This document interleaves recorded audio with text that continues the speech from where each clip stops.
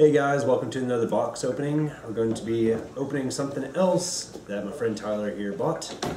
And are you going to tell us what we're actually in store for today?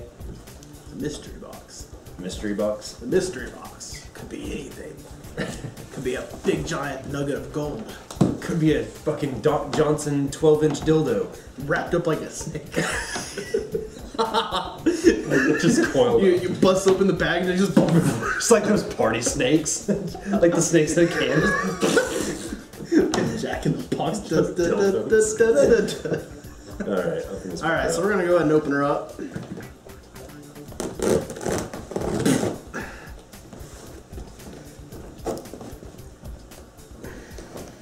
Piece of shit. Fucking duct tape is really hard to get through.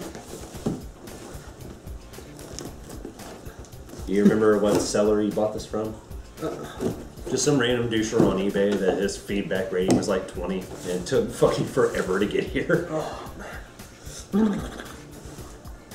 No, it wasn't that it took forever. It like arrived when he said it was gonna arrive, but he didn't like notify me that he was shipping it. It just like it showed up randomly one day, and I was like worried because like, every every time I buy something on eBay, it uh It has the tracking the shipment. yeah, I mean they tell you it's like we shipped your fucking shit. Yeah. it should be here.